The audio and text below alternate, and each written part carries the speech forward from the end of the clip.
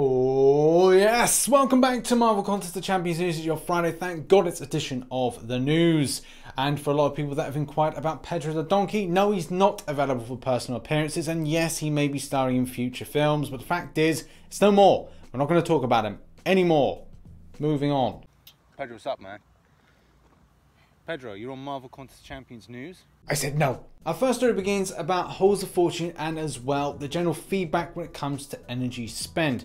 Some people have even asked me about the extent of gold that you get back and Truecaster has done some information here that just basically says how much you get. Just times it by four and you'll get what you'll get. And for Halls of Healing, it's just completely randomized what you get. You could get something good, you can get something average, but you are going to get either revives or health potions that are standard ones or as well they're going to be alliance ones.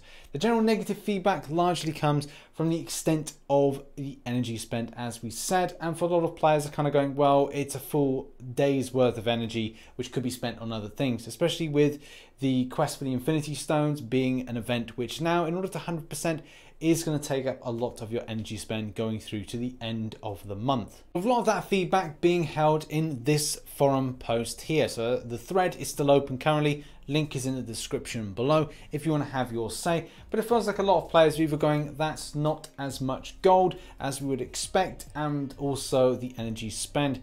Personally, it's a bit difficult to kind of comment on this because I do feel that it's good to have these back, but obviously looking at it, it would be nice to receive some more energy refills in order to kind of go like, hey, well, here's some stuff to grind out about, or do exactly what Halls of Healing does do as well, and make it a very much lower spend. I'm talking like one per tile type thing, or just doing away with it. But what are your thoughts on this? Leave them in the comment section below. Next up, some players will note that they haven't seen the Marvel's Notorious Gamers get a position on the leaderboard. As you know, in the past, they've charted very highly in Alliance Wars. And like, well, what's the deal with this? Why haven't they been seen right at the top?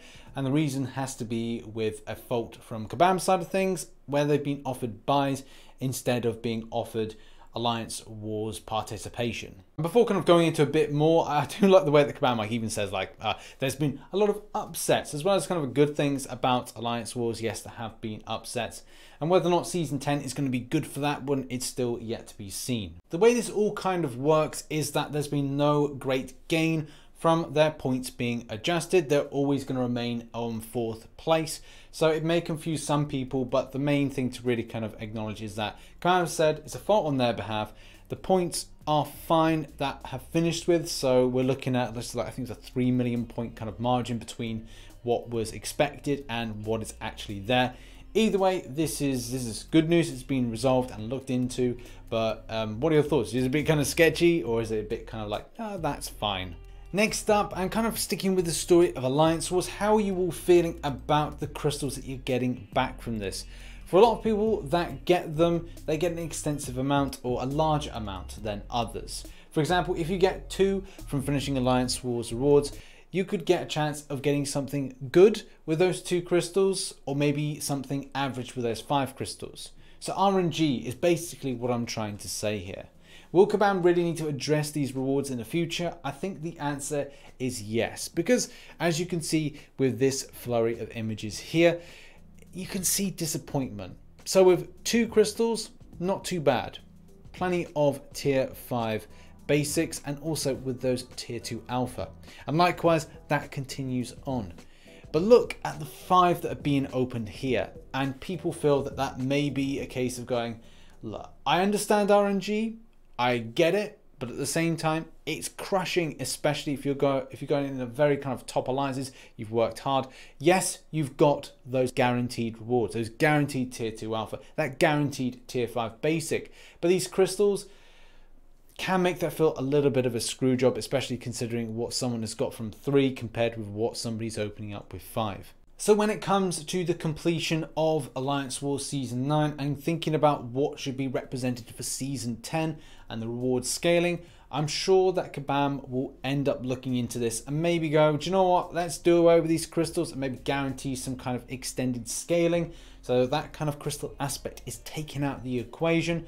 But uh, generally, I know a lot of the player base want to see some real revamping of those rewards, make them a bit more beefier and tastier for the community when they have so much stress from this type of event. Which leads on to the confirmation that on June 19th, we will be seeing, seeing the return of Alliance War Seasons. It will be Season 10 with a new map and the new buffs. So fingers crossed it works well for the player base.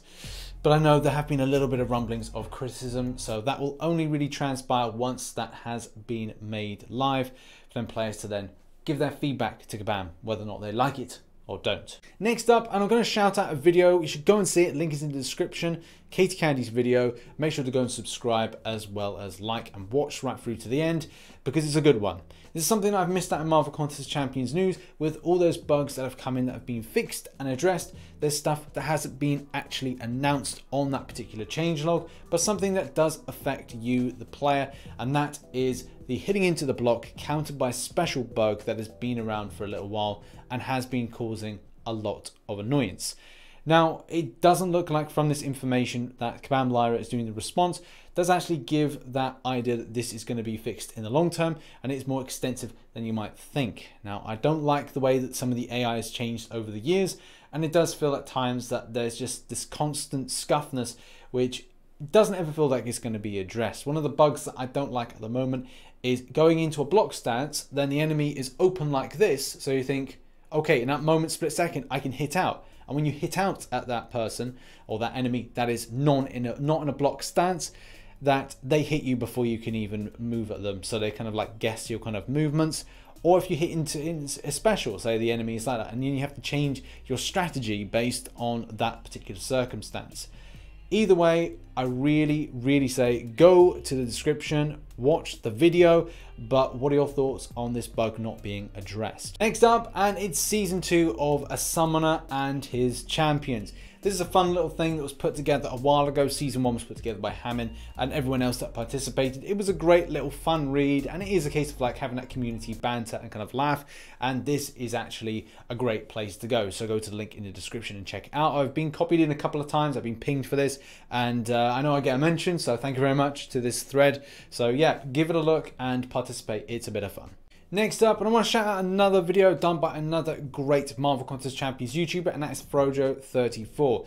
This video, like, it's, it's, a great video, deep dives on aspects of what class Namor should be when he's put into the game, as there's a lot of different bits of information to take into consideration and I feel that Frojo does a solid with looking at the deep dives of different champions, look at the comic book history, looks at other types of materials as well and I think it's well worth you giving it a watch. The link is in the description below. Make sure to subscribe and like and, uh, and watch some other stuff done by Frojo as well. In other news, it looks like Kabam unfortunately have done a little bit of a goof again. If you remember the Cull Obsidian crystals, when they were put in, for whatever reason, they were incorrectly put in as like the electro crystals and anyone that immediately did a purchase or purchased a little bit after were then given back 10 of the Cull Obsidian crystals so they got double the amount the same thing applies in this circumstance where for those that went for the incorrect crystal then got the extra crystals so for example there was a hawkeye and people were like well, what's going on with this as being the featured champ and in fact ebony maw was not in that crystal which looked a little bit something like this. So it was kind of disappointing that this was the case and this has been the second featured champion in a row.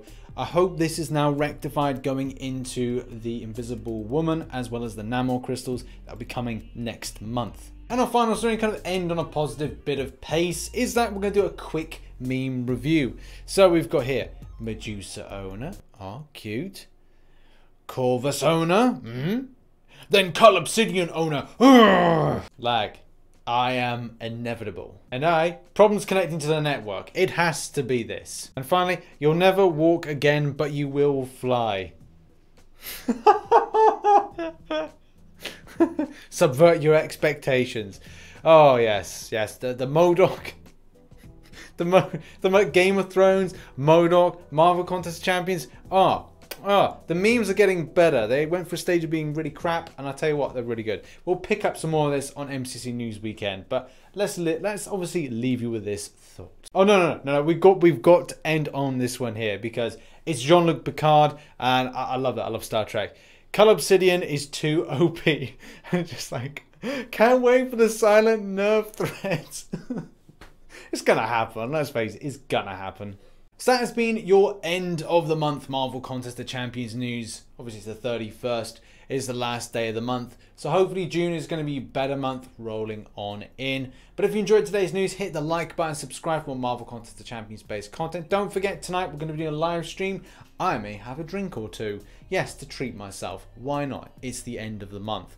But also, do make sure to catch my other channel, Stormbreaker Gaming. Link is in the description below. We're going to be playing some PUBG and just kind of like chilling out. So if you want to join us a bit later on as well, make sure to subscribe with post notifications on. Thanks very much, and I shall catch you in the next one. Bye bye for now.